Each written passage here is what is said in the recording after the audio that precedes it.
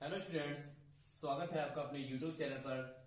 तो आज देखेंगे क्लास टेन में प्रश्नावली 1.3 1.2 इसके पहले हो चुकी है 1.3 में देखेंगे क्वेश्चन नंबर वन लिखा हुआ है रूट पाँच एक अपरिमेय संख्या है, पर पहले लिखा हुआ है, सिद्ध कीजिए कि रूट पाँच एक अपरिमेय संख्या है।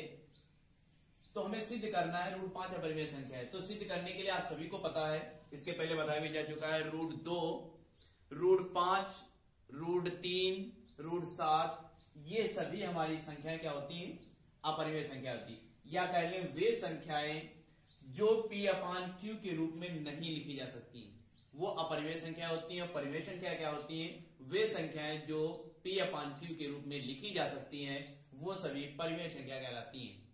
तो देखो, इसमें क्या लिखा है? रूट पाँच एक परिमेय संख्या है। तो हमें सिद्ध करना है। तो हम क्या करते हैं? जो लिखा है रूट पाँच एक परिमेय संख्या इसका हम विरोध, यानी कि विपरीत मानेंगे। जब कहे रूट पाँच एक परिवेश संख्या तो मानेंगे माना रूट पाँच एक परिवेश संख्या है। तो इस प्रकार हो जाएगा, माना रूट पाँच बराबर ए अपान बी, जहाँ ए और बी पूर्णांक हैं। चलिए लिखते हैं। माना, हमने कहा था इसका विपरीत मानेंगे, माना रूट पाँच एक परिमेय संख्या है तो लिखेंगे माना रूट पाँच एक परिमेय संख्या है। परिमेय संख्या है। क्लियर है यहाँ तक? उसके बाद में लिखेंगे फिर से माना। रूट पाँच बराबर ए अपान बी तो इसमें जाएगा बी नॉट इक्वल ज़ीरो यानी कि बी ज़ीरो के बराबर नहीं है। तो अब क्या करेंगे? ए अपान बी लिखा, लेकिन जहाँ ए कामा बी कोई पूर्णांक है। क्या है? पूर्णांक है। अब इसमें लिखेंगे, जब लिखा है ए और बी कोई पूर्णांक है तो हम लिखेंगे तथा ए और बी में एक के अतिरिक्त तथा ए और बी में एक के ए और बी पूर्णांक ऐसे लिख दो, ए और बी पूर्णांक में एक के अतिरिक्त कोई पूर्णांक नहीं है। कोई पूर्णांक नहीं है। अब यहाँ तक हो गया है। लिखा है रूट पाँच, ए अपान बी, तुमने भाषा लिख दी, ए अपान बी हमारे क्या है? दो पूर्णांक है। कितने हैं? दो पूर्णांक हैं। तो बी नॉट इक्वल ज़ीरो तो हमने लिख दिया ए और बी। कोई पूर्णांक है तथा ए और बी, पूर्णांकों में या पूर्णांक में ए के अतिरिक्त कोई अन्य पूर्णांक नहीं है। या जैसे एक हमारे पास दिया गया, इसमें सिर्फ़ एक इसमें मिल जाएगा, एक इसमें काम मिलेगा, एक इसमें काम मिल जाएगा। तो जब ऐसा है तो इसके आगे हम क्या करेंगे? अब देखेंगे, लिखेंगे रूट पाँच, बराबर ए अपान बी अब इधर तीन गुणा कर देंगे तो आ जाएगा रूट पाँच बी बराबर ए दोनों ओर वर्ग करने पर, दोनों ओर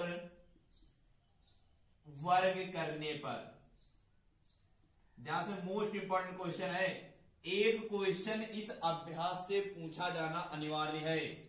तो अब वर्ग करेंगे तो आ जाएगा पाँच रूट पाँच का होल स्क्वायर बराबर आ जाएगा ए का स्क्वायर। तो अब देखो रूट पाँच, जब रूट पाँच का स्क्वायर होता है, अर्थात रूट पाँच को गुणे में दो बार लिखते हैं तो रूट पाँच और रूट पाँच की गुणा कितनी हो जाती है? पाँच। या ऐसे रूट तीन गुणे रूट तीन की गुणा कितनी हो जाएगी? रूट तीन गुणे रूट तीन गुणा तीन हो जाएगी। तो यहाँ पर पाँच बी स्क्वायर आ जाएगा। बराबर ए स्क्वायर तो इस प्रकार से ये हमारा इतना आ गया है। अब हमें करना क्या है? अब हम देखेंगे इसके आगे। लिखेंगे क्या? आता पाँच ए स्क्वायर को विभाजित करता है। आता, यहीं पर लिख देते हैं, आता, थोड़ा लॉन्ग क्वेश्चन है, आता ए सॉरी पाँच लिखेंगे। पाँच ए स्क्वायर को विभाजित करता है। विभाजित, ये सभी नंबर ए डाल देंगे। विभाजित करता है, इसलिए पाँच ए को भी विभाजित करेगा। करेगा। ये हो जाएगा समीकरण नंबर दो। अब आगे देखेंगे। विभाजित करेगा। अब आगे देखेंगे, इधर थोड़ा बढ़ा लेते हैं इसको। हाँ अब देखेंगे, विभाजित करेगा तो उसके आ जाएगा माना ए बराबर पाँच के। क्या मानेंगे? माना ए बराबर पाँच के रखने पर। जहाँ पर ए है, वहाँ पर क्या रखेंगे? पाँच। तो यहाँ पर आएगा पाँच बी स्क्वायर। समीकरण नंबर एक से। समीकरण एक से। तो अब क्या आ जाएगा? जहाँ पर ए स्क्वायर है, वहाँ पर हम क्या रखेंगे? पाँच के। तो आ जाएगा पाँच बी स्क्वायर पाँच बी स्क्वायर बराबर पाँच के का क्या हो जाएगा? होल स्क्वायर क्यों? क्योंकि ए का स्क्वायर है तो पाँच हमने माना है ए बराबर पाँच के तो पाँच ए का, पाँच के का होल स्क्वायर हो जाएगा। तो ये ऐसे रहेगा पाँच बी स्क्वायर बराबर पचम पच्चीस। इधर क्या हो जाएगा? के स्क्वायर पाँच से काटे पाँच एक कम पाँच, पचम पच्चीस। तो बी स्क्वायर बराबर कितना आ जाएगा? पाँच के स्क्वायर आप ध्यान दो पाँच बी स्क्वायर बराबर कितना था? A square. अब यहाँ पर तब ने कहा था पाँच ए स्क्वायर को विभाजित करता है तो पाँच ए को भी विभाजित करेगा। तो हम यहाँ पर अब क्या लिखेंगे? लिखेंगे आता पाँच बी स्क्वायर को विभाजित करता है। विभाजित करता है। इसलिए पाँच बी को भी विभाजित करेगा। बी को भी विभाजित करेगा। क्लियर हुआ यहाँ तक? अब आगे क्या लिखेंगे? पाँच ए स्क्वायर को एड करता तो इस प्रकार ये भी हो गया। इसको मान लिया समीकरण नंबर दो और ये हो गया समीकरण नंबर तीन। अब लिखेंगे समीकरण दो और तीन से आप देख लें। बिल्कुल सेम है, कुछ नहीं करना है। अब लिखेंगे, इस प्रकार समीकरण दो व तीन से स्पष्ट होता है। इस प्रकार समीकरण दो व तीन से स्पष्ट होता है। आप देख लें, यहाँ पर पाँच बी को स्क्वायर पूर्णांक पाँच एक इसमें भी है, पाँच पूर्णांक इसमें भी। अब और उस भाषा में हमने क्या लिखा था? एक तो कोई अन्य पूर्णांक नहीं है, लेकिन यहाँ पर पूर्णांक कौन सा आ रहा है? पाँच। पाँच इसमें भी। इसका मतलब हमारे पास क्या हो जाएगा ये परिमेय संख्या है, लेकिन इसके पहले हम पढ़ा चुके हैं कि रूट पाँच रूट दो रूट तीन, ये सभी हमारी क्या होती है? अपरिमेय संख्याएँ होती हैं। तो अब आगे देखेंगे इस प्रकार रूट दो व तीन से स्पष्ट होता है कि ए व बी का उभयनिष्ठ गुणनखंड, कि ए व बी का उभयनिष्ठ मतलब कामन, उभयनिष्ठ गुणनखंड पाँच है। देखो फिर से।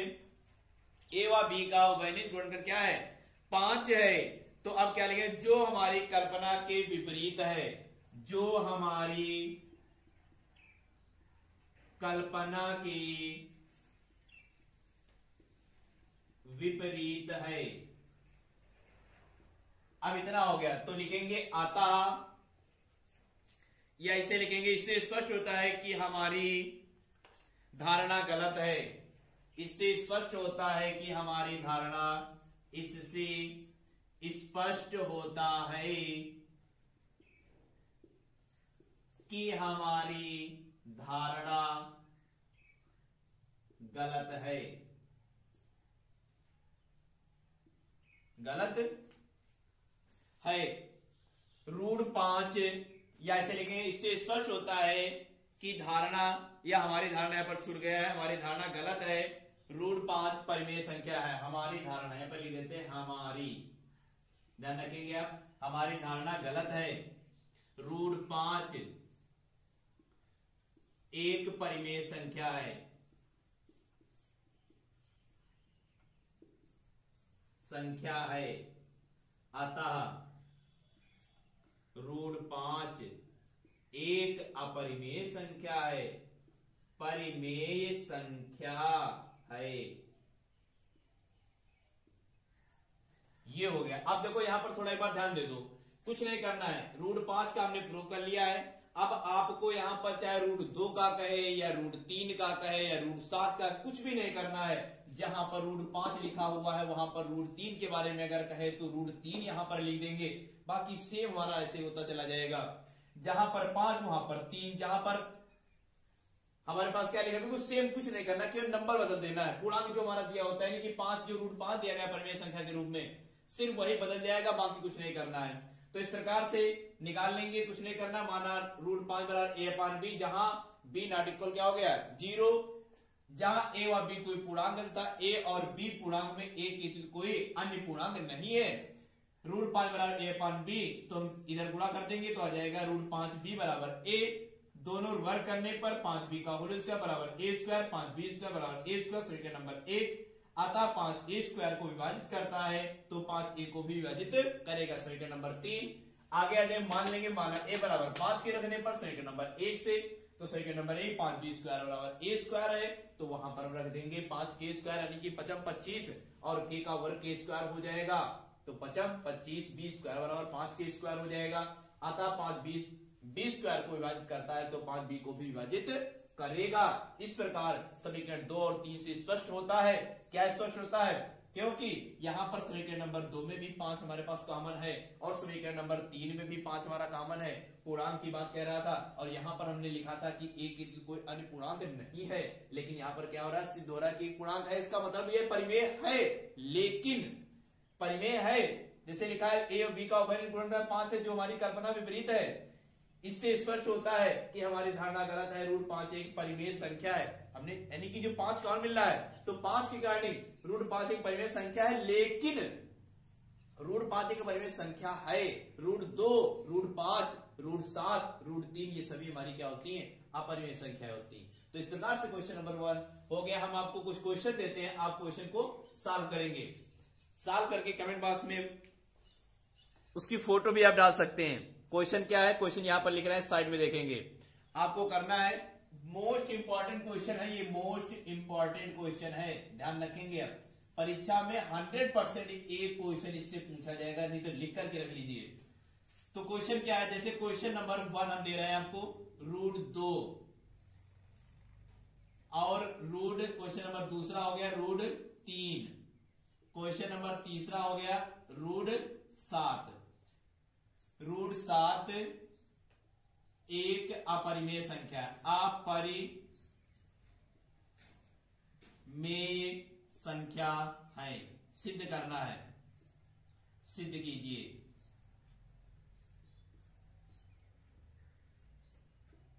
या फिर हमारे WhatsApp number seven nine zero five double zero two one eight seven. पर आपको कोई भी अगर डाउट हो तो यहाँ पर आप मैसेज करने, करके आप डाउट्स को क्लियर कर सकते हैं। तो ये क्वेश्चन आप नोट करके, ये क्वेश्चन पहले आप करेंगे, उसके बाद में ये क्वेश्चनों को लगाएँगे। अगर एक दो क्वेश्चन लगा लेते हैं, इसका मतलब आप परफेक्ट रूप से सिक्योर से थोड़ी बहुत देखनी बस। ठीक है? इस प्रकार हम आगे देखिए क्वेश्चन नंबर टू